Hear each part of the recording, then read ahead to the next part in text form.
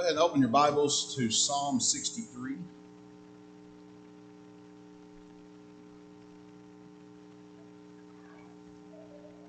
Psalm 63. Familiar phrases and passages in the scripture, usually they're familiar to us because we've heard them in song before, is one that comes from Psalm 42, verse 1. Put your ribbon there, Psalm 63. We'll meet there in a minute. But says, As the hart panteth after the water brooks, so panteth my soul after thee, O God. Of course, that's King James Version. We know that to be the song, As the deer pants for the water. Psalm 84, verse 2 says, My heart and my flesh cry out for the living God. So there's this longing for and this calling out to and crying out for God and His presence in our lives. Do we desire God this much? Answer that question for yourself. I, am not, I can't answer it for you. I can only answer it for myself. Do we desire God that much? Like water in the desert. Can you imagine being in a desert, being there for some time and having no water? What about air if you're drowning? How, how important would air be to you? Or food in the time of famine? These are ways that we're told in the scripture. We look at Matthew chapter 5 and verse 6 Blessed are they that hunger and thirst after righteousness, for they shall be filled. But you've got a hunger and thirst for that. Do, do we desire God that much? You look at First Chronicles chapter 28, verse 9, David saying to his son, If thou seek him, he will be found of thee, but if thou forsake him, he will cast thee off forever. But notice the condition that if you seek him, when we consider this psalm that I told you to turn to, Psalm 63, I want to look at verses 1 through 6 in our study together today. We're going to see how the child of God lives. A child of God lives better than life. Not just life, better than life. And you may think, okay, well, the New Testament says something about that. Jesus came into this world for a purpose, and that was the purpose of giving us a more abundant life. The thief, this is John 10, verse 10. The thief comes to steal, to kill, to destroy. I came that you might have life. Not just any life, though, an abundant life, an overflowing life. So, as we think about life, and I think about those first things that I asked myself as I asked you do we seek God? Do we long for God that much in our lives? Do we live better than life as His people? First thing I want you to consider is verses 1 and 2. Living better than life, we're going to be devoted to God. We're going to have this devotion to God. Look at Psalm 63, verse 1.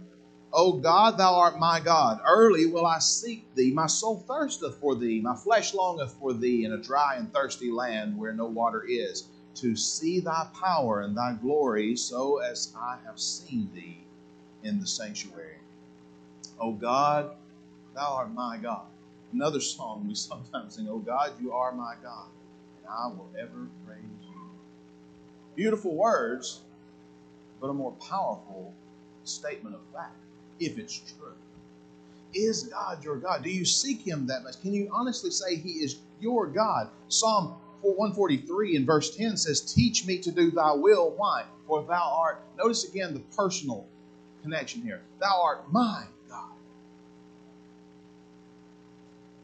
There, there was a time in Barry Kennedy's life where God was the God of Larry and Sherry Kennedy.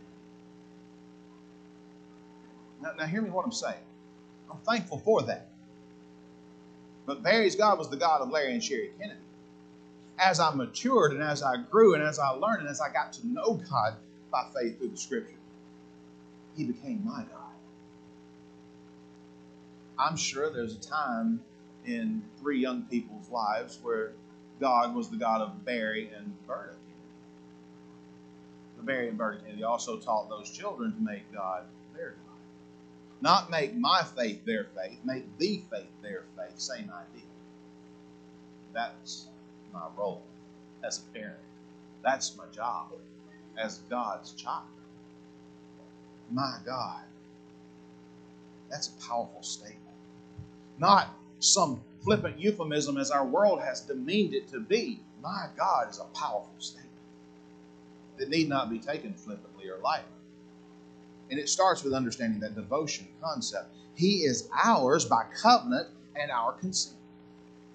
He is ours by covenant. That's a, a legal term, but also by our consent. Look with me at a couple of passages in Hebrews chapter 8. Hebrews chapter 8, verse 10. Hebrews chapter 8, verse 10.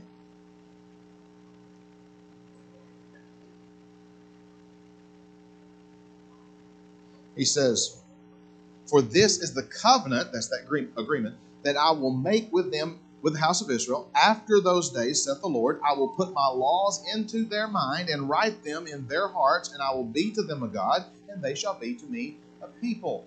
This is uh, the revealing of that prophecy that was made by Jeremiah, Jeremiah 31, 31 following is word for word verbatim. This is what came about in the new system, the new covenant, the New Testament the law of Christ. I'll be to them a God. It's not going to be like the covenant I made with their with their fathers on the other side. No, it's not like that covenant. They broke that covenant. That's the law of Moses. This one I'm going to write in their hearts. It's by covenant, by agreement of God. But go back to John chapter 6. John chapter 6 and look at verses 67 and 68. This is where the consent comes into play because Jesus came to establish that new covenant, that new law. And those first that he came to, those closest to him, his disciples, are seen here in this text. Then Jesus said unto the twelve, Will ye also go away? He's fed multitudes of people with physical food. He fed 5,000, he fed 4,000. But as he continued to try to feed them what they truly needed, spiritual food, spiritual meat, the teachings of Jesus, the faith, they left him they went back to their other things. And he looks to his disciples, and I can't help but almost hear a, a crackle in his voice as he says this. The emotion, maybe, that was behind it. Go away. Lord, to whom shall we go? Peter says. You have the words of eternal life. Peter said, We choose to be devoted to you because you have the words of eternal life. They go looking for some more physical food somewhere or some physical cravings that they have. They don't want these spiritual things. But we understand, Jesus, the covenant that you came to establish with mankind. We want to be part of that. We consent to that. Lord, to whom shall we go? Because you have the words of eternal life. But to go back to the text again in Psalm 63. And not only did he say, Oh God, thou art my God, he says, Early will I seek early denotes an idea of having a fear of missing. I used an illustration that I used in the first sermon talking about the early academic days of Barry. He wasn't overly concerned about missing the bus, let's just say that. Why? Because that was the thing that was going to take me to that place where I had to study and learn, and I didn't want to be there wasn't a big deal to miss that bus. But if the family says, we're going on vacation, and we're going to leave at 3 o'clock in the morning,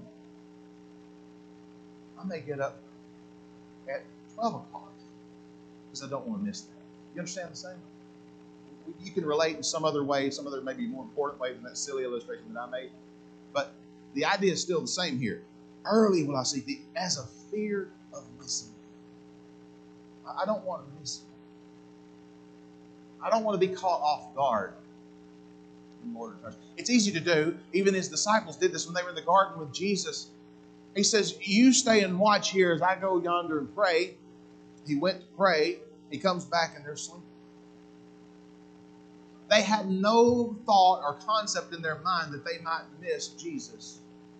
They really didn't grasp at that moment that in just a few short moments, future that Jesus is going to be taken and they're never going to see him in that same sense again.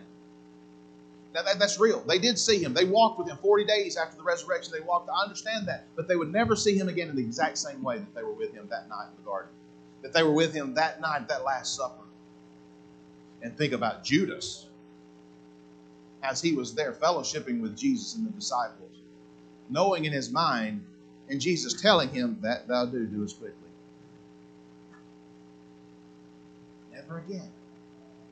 They be in that same position. Early will I seek thee. I don't, I don't want to miss Jesus. I don't want that fear of missing him. But then the earnesty in this as well. back to the text. I seek thee as a soul that thirsteth for thee as in a dry land. Thinking about that. This earnestness. The whole being is affected in this situation, isn't it? Talking about his thirst. He's talking about his vision. We'll talk about in a few moments. The the hungering. His whole being is affected. I think about Hebrews 11, 6 Without faith, it's impossible to please God, for he that cometh unto God must, that's important, but must believe that he is. Absolutely. Clearly. Yes, I believe Jesus is the Son of God. But not only that. If you're going to be pleasing in God's sight, there's more to it than just acknowledging that he exists. He's a rewarder of them that what? Diligently. That's earnestness. Diligently seek diligently seek Him? Honestly, inventory your past week. Just, just you, you inventory yours, I inventory mine. How much time in that week? But then I'm not talking. Take take Sunday, last Sunday out. Take Wednesday night out. Just last week, other than those two times, how much of your time was actively spent in seeking the Lord? I can't answer that. Answer. How would I measure up in my devotion to God with the psalmist in Psalm 63? He says, verse 4, though, there's an eternal here. Verse 4 says, Thus will I bless thee while I live. I will lift up my hands in thy name. While I live, he's reasons the reason why I live is because of him. This lifelong pursuit that I have of him, I'm going to keep this as long as I live. Now, the spiritual mind of us understands that we're going to go beyond this physical life and we get to bless him and praise him and all of those things in heaven if we're faithful to Him here. But I'll go back again and emphasize the living that we're talking about is on time side of eternity. Child of God lives better than life because the child of God continually, not just when it's time to come to the church house, the child of God lives a continual life of devotion to his God. And so, as we move on, looking at verses 3 and 4, there's also an appreciation. Ingratitude, and I mentioned that this morning in the first sermon as well, but ingratitude in Romans chapter 1, starting in around verse 20 and continue reading, ingratitude comes into play. They didn't retain God in their thoughts and their minds. God gave them over to reprobate minds. I understand that. But one of the things that was caused behind that is they weren't thankful. Isn't ingratitude just a disgusting thing? when you put forth effort, you put something into doing something for someone, and a nice gift, it maybe it costs a lot of money, or, or you make something, you do something for someone, and, and they don't appreciate that. Hurts, doesn't it? But again, I go back to what was the greatest gift ever given? And I, and I second what, what Nick said this morning at the end of our first service. What a blessing it was to be here for that service. But Eddie, you did a fabulous job with that devotion.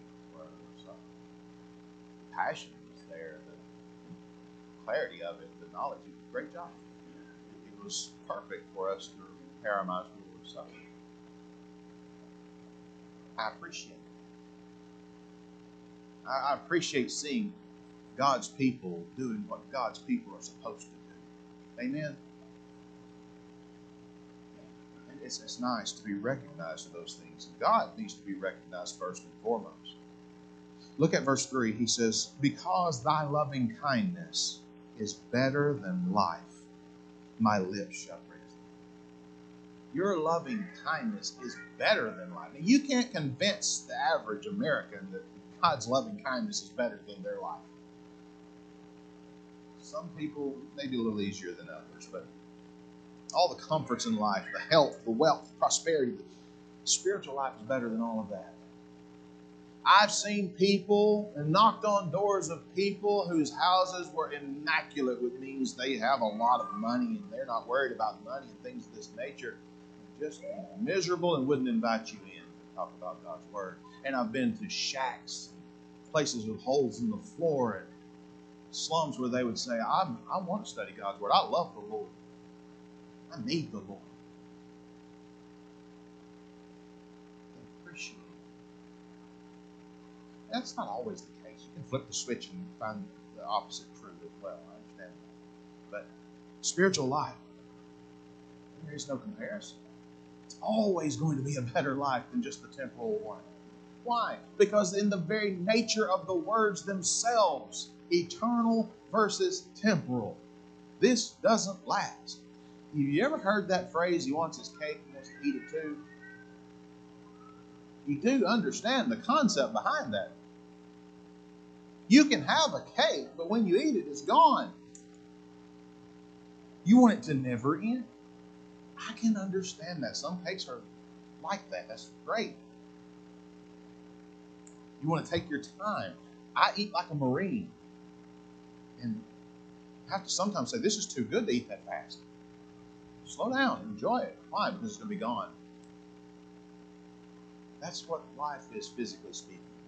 All the accolades and all the things were so important when you were in high school. Those who are in college now, they weren't as important as the college years, were they? And those of you who've gone beyond college years, now you're in adulthood, those things that you were concerned about in college, not as important as they are now, are they? so vested in those physical things that are temporal that are only here for a moment and invest so much in them. Sometimes eternity we invest in those things, sadly.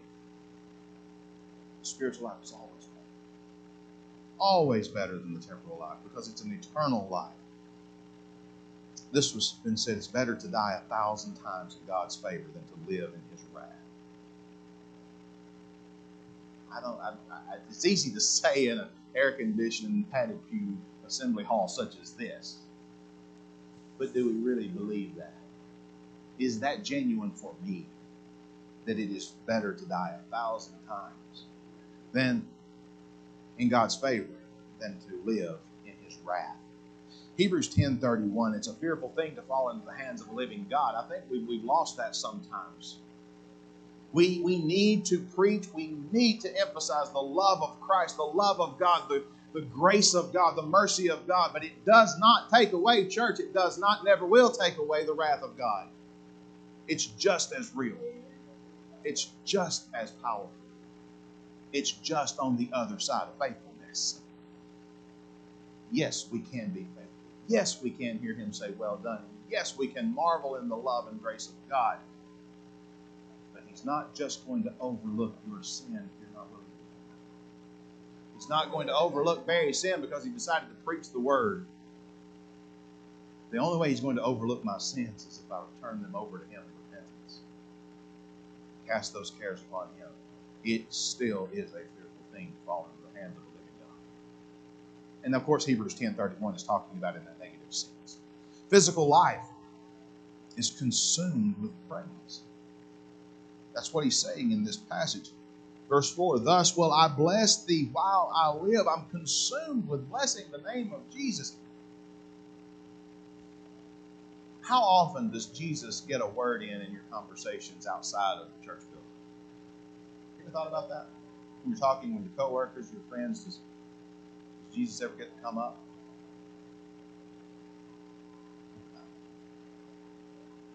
Is my life truly consumed with praise? again, verse 1, he references his flesh. I will seek as my soul search, my flesh longs for thee.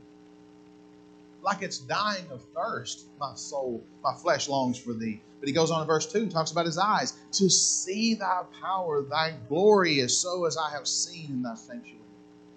I want to see, I want to lay eyes upon him. It reminds me of a song in our songbooks. Oh, I want to see him, look upon his face, there to see forever of his saving grace. On the streets of glory, let me lift my voice. Cares all past, home at last, what? Ever to rejoice.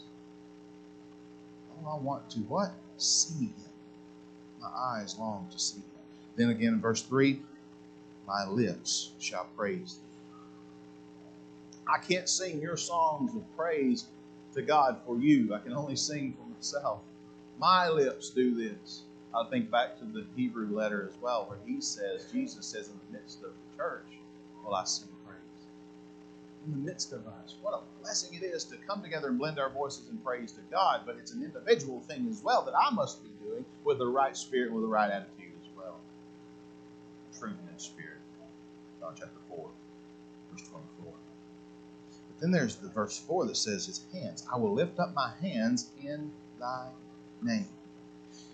And it's interesting when you think about and you look for images and things of worship in our current culture today, you'll, you'll be hard pressed not to find some image of somebody's hands doing this. And this is, I'm praising God. Can't you tell I'm praising God? Does that mean to you that I'm praising God? It may mean, hey, look out. Trust me, if you see me doing this, next thing's probably going to come is get down. There's danger. Okay? That's a warning. Hey, or look at me. Are you saying it's a sin to raise your hand? I'm saying that. I'm saying there's more to what the Bible talks about in lifting up our hands than just raising your hands and saying, Hallelujah, God. Hands, most often in Scripture, reference an action that you're doing. When I give you a cup of cold water in the name of the Lord for your need, I'm lifting up my hands to God.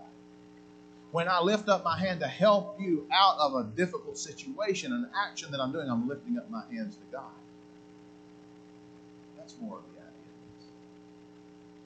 But he says my hands are involved. The actions, physical life itself, is consumed with God. Oh, one very godly person that I know who has given his life to ministry and mission work, you will not talk, no one will talk to that man long at all without Jesus coming up. If you're sitting beside him, if you happen to have been beside him, I don't think he's traveling as much anymore now. Age is getting old.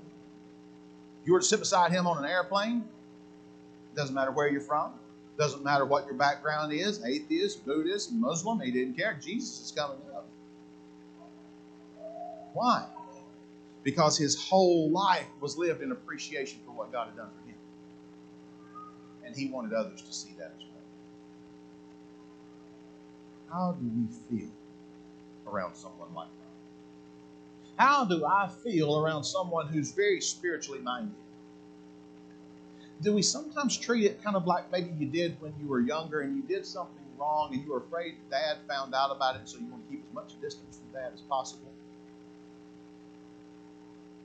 See, there's a big difference in, in mom and dad when you're doing what's right and when you're doing what's wrong, isn't there? Can't wait to give me a hug, you know.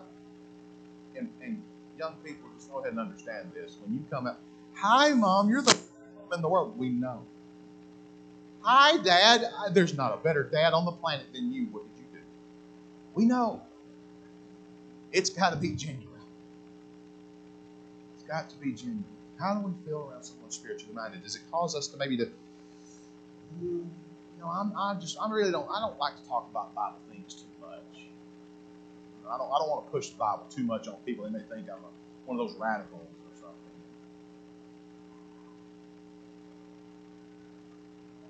As I recall in the New Testament, the common word on the street about Christians was that they were radicals. That's those people that turn the world upside down. You'd be hard pressed in many cases to find the world to be able to tell any difference in the average Christian and. Talk like they do, watch what they watch, go where they go, do what they do, wear what they wear. Does your life show an appreciation of God or culture? How do we feel around someone spiritually minded? Number next. What about Verse 5 there's satisfaction in God. See, the world, the culture of the world, it offers what the Rolling Stones said long ago I can't get no satisfaction. But the Christian gets it all the time, he lives it. Look at verse 5 My soul shall be satisfied with marrow and fatness, and my mouth shall praise thee with joyful lips. What is being satisfied is not the carnal, the flesh, the outside. What's being satisfied is the inner man, the soul. It's from within.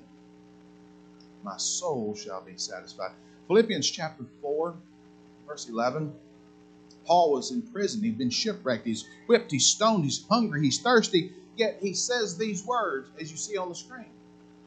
Not that I speak in respect of want. I'm not saying that I don't have anything. I, yeah, I've had all these things happen in my past, but I'm not saying that I'm living in want. For I have learned. If you mark your Bibles, I would underline those phrases, that phrase there. I have learned. It wasn't natural. Contentment for the average human being is not normal. That's what he's saying. But I've learned that whatever state I am, therewith be content. Whatever state I'm in, I've learned to be content with that. So that's the within. But then in the same verse, in verse 5, he goes to without. He says, My mouth will praise thee. You see, I don't have to voice words verbally for God to hear me, though. I, I, can, I can say a prayer. Eh, when, when we're led in prayer, we were led in prayer this morning several times. Every time we're led in prayer, I'm praying along with that one leading in prayer. But I'm not saying it out loud. God doesn't have to hear the words come out of my mouth to know what I'm thinking or what I'm saying. But if I do use my mouth to praise Him, I can't hide that from you either. I'm not supposed to. I'm not doing it to be seen of you, but you're going to see me when I do. There's there's certain people that I can't wait and I long to see them up leading singing. I long to hear them lead a prayer. I long to hear them preach a sermon. I long to hear them. I'm looking forward to the next devotional that you're going to do. I look forward to those moments. Hearing them praising God. I want to do the same as well. This satisfaction brings this satisfaction to myself, though, when I'm doing this from within, and then it goes without. If I just do it within, I'm never going to be satisfied with that. I'm not going to find that satisfaction with God because I'm just holding it in, I'm bottling it in, I'm never willing to turn that over to Him. And I'm reminded of what Jesus said in Matthew chapter 10, verses 32 and 33. If you will not confess me before men, I will not confess you before my Father which is in heaven. If you will confess me before men, I will confess you before my Father which is in heaven. That's in essence what He's saying. I'm paraphrasing.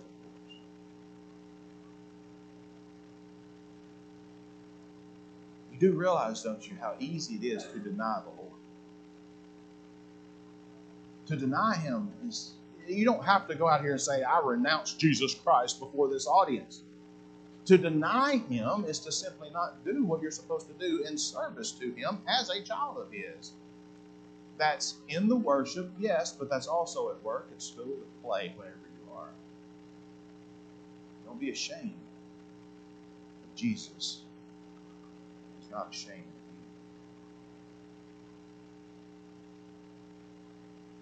Whatever is in the heart is eventually going to come out of the mouth.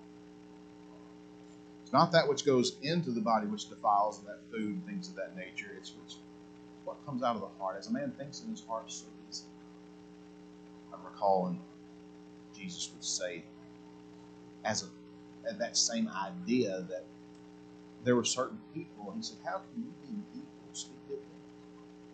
How, how is it possible for you to speak good things? It's like a it's like a, a bad tree giving forth good fruit. See, out of the abundance of the heart, the mouth speaks. A good man out of the good treasure of the heart brings forth good things. An evil man out of the evil treasure of the heart brings forth evil things. But I say also unto thee, every idle word that men shall speak, they shall give an account there of the day of judgment. And so, what goes into the heart leads us to our next point. Verse 6 meditation. Meditation on God's Word. He goes on and says in verse 6 When I remember thee upon my bed and meditate on thee in the night watches. What's he doing? He's praising him. He's praising him with his whole body. Even when he lies down at night, I remember thee upon my bed. I meditate upon thee. I meditate. I remember when I'm lying down at night to rest and go to sleep, last thoughts that are going to be on my mind are going to be that God, can I say that? I say that faithfully as much as I need to. I need to do better with that. I've uh, heard of people before talking about I, I just quit praying at night before I went to sleep because I found myself falling asleep in the middle of the prayer, and I just can't be right. What better way to go to sleep? Do you love your child any less? That child's talking to you, and you're sitting there rocking, and they're talking to you, and they're saying something about their day and how much they love you and appreciate you, and before they get it all out, they fall asleep. Do you stop loving them? Oh. So um, upon my bed, I remember you. I remember you when I meditate upon the night watches. The night watches, many thoughtless and restless, our thoughts cause us to have these restless nights, but sometimes that restlessness can be a good thing. There's a difference. I know we need our sleep. I understand that. Don't get me wrong. I understand that. But there's a difference in having troubles that go through your mind that keep you up at night and cause you to toss and turn. There's a difference in that and having good thoughts that are keeping you up and so forth. You wake up differently from those, don't you? You're still tired, yes, but it's a different, different mindset. Do we have those restless thoughts of God? What are the night watches? The night watches, it's a military term. It has an idea of, of being a guard. When I'm on guard, my thoughts are on you. And that's easy, isn't it? Makes, that makes sense. Totally, it makes sense that when, when things might, I might be facing some very hard, difficult temptation, that I need to be thinking about God just when the temptation, the hardships come. We started earlier in the night I pillow my head. That's when you're in the safety and the comfort of your own home. I'm thinking of Him. So I think of Him in the good. I think of Him in the bad. I think of Him always. In the night watches, I do what? I meditate. Jesus told His disciples, Matthew 26, verse 41, watch and pray. That's another song we sometimes sing, isn't it? I've sung that in a while. Watch and pray for the Lord is coming, coming in the clouds someday. Watch. Be vigilant, knowledgeable, and pray. Commune with Him. And he said that in the context of the spirit indeed is willing. Flesh. Watch and pray that you enter not into temptation. When's the last time you actually earnestly asked God to deliver you from temptation? Sometimes, be honest, sometimes we, we put that in the context of, well, that's, that's what addicts do. That's someone who has a real problem. Brothers and sisters, sin is a real problem to every member of this congregation and every congregation and every soul that has walked this earth. Sin is a problem. Your sin is a problem. My sin is a problem. I need to be praying more earnestly. I'm, I'm going ahead and saying it right now in front of all of you. I need to do a better job at this. Watching and praying. But understand how foolish it is to say, Lord, lead me not into temptation, as is said in the model prayer, and put yourself in the midst of a crooked and perverse generation. Try not to let it slip. Put yourself right in the middle of something you know is immoral and say, I'm going to be all right because I prayed about this. You're not being watchful. There are certain places, things that we as God's children must avoid. And we're not going to know that if we're not meditating on the Word of God enough. Average Christian, the average Christian can tell you so much more about pop culture than they can about God's Word. That, brothers and sisters, is a fact. It also affects preachers, elders, deacons, fathers, mothers, Bible class teachers. We're all in this together. We need more time with God's Word. Faith comes by and hearing by. That's the only way you're going to get it. That's the, hear me, brothers and sisters and friends, the only way you're going to get it by the Word of God. Jesus told his disciples, here's the Word of God telling his disciples, watch Paul told the Philippian brethren, think on these things. and He gives you a list. When you start struggling with some things and you start having these thoughts that are reoccurring and it's just rolling around in your mind, and you're, is this okay? Is this good? Should I do this? Should I not do this? Can I be this? Do this as a child of God? Can I be part of this group as a child of God? Can I go to this movie as a child of God? Can I, whatever it may be, go back and look at that list in Philippians chapter 4 and verse 8 and see does that plug into any one of those outlets? Does it fit? No, that's not, that's not how this works. Make sure it plugs into all of those outlets and dwell upon that in your thought process. See if it doesn't change some things for you. Think, literally, meditate upon these things. So, in conclusion, looking at Psalm 63. We love the Lord this much, as the psalmist is saying. We love the Lord this much. How much are we going to pray to Him? We love the Lord this much. How much are we going to listen to Him? We love the Lord this much. How much are we going to speak of Him? Now, notice I said of Him, not to Him. We love the Lord this much. How will it change us, including our thoughts and our words? If He said, repent and be baptized, would we? He did. He was willing to do himself first. When he came to John to be baptized of John, John said, I have need to be baptized of thee, and comest thou unto me? He said, Suffer it to be so now, for thus it becometh us to fulfill all righteousness. And he suffered him and he baptized him. That was Jesus. He said, Repent and be baptized.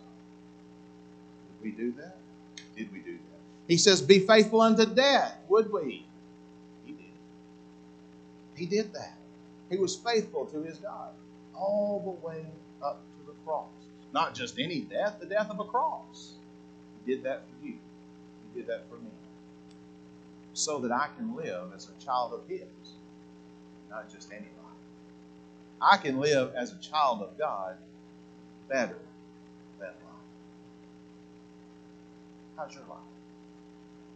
Is it just as good as the average classmate, coworker, cousin, family member? Or is it better than life? Have you sanctified the Lord God in your heart? Are you ready to give a, an answer to every man that asks you a reason of hope that is in you?